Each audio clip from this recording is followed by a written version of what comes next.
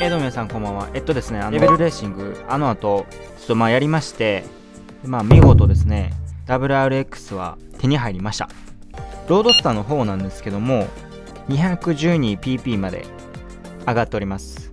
吸気口からニトロまで最大で、変速機のエンジンがステージ4となっております。まあこれでですね、D クラスは一応制覇ということになっております。まあ、あの、この WRX はですね、まあ、そんなになんかあるわけじゃないので、まあ、これは置いとこうかなと思うんですけども、えー、デイリーレースの方でですね、えー、っと、これは えー、何でしたかね。はい、えー、これですね、えー、S クラスのフォード GT ということで、これをですね、試し乗りしたいと思います。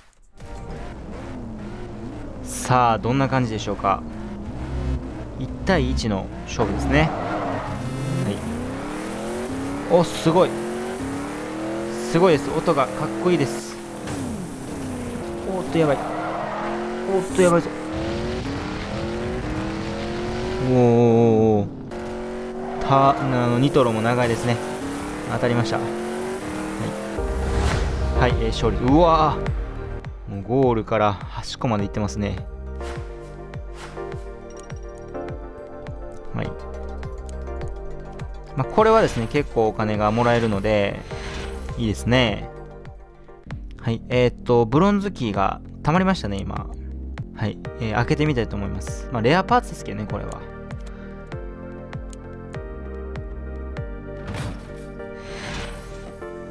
おゴールド35もらいました。